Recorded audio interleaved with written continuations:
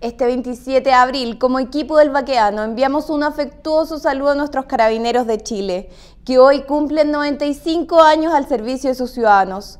Una labor honrosa y valerosa de la que nos sentimos orgullosos. Hoy abrazamos a carabineros y les decimos, no están solos, somos muchos corazones quienes los acompañamos y respetamos en su trabajo y en su desvelo por un Chile libre, por un Chile soberano, por un Chile que respeta el orden y la labor de todos sus ciudadanos.